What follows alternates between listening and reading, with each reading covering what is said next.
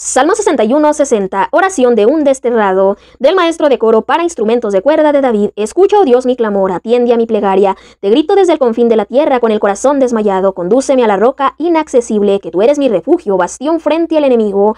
Hospédame siempre en tu tienda, acogido al amparo de tus alas, pues tú, oh Dios, escuchas mis votos, me otorgas la heredad de tus adeptos. Añade días a los días del rey, que sus años se prolonguen por generaciones. Reina por siempre en presencia de Dios, la lealtad y la fidelidad lo guarden. Tañeré a tu nombre para siempre, cumpliré mis votos día a día.